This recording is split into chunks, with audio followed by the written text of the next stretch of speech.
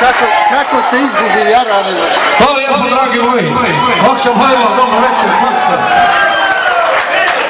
Ja sam malo zakasnio, ali ću vam ugušiti, nije veze.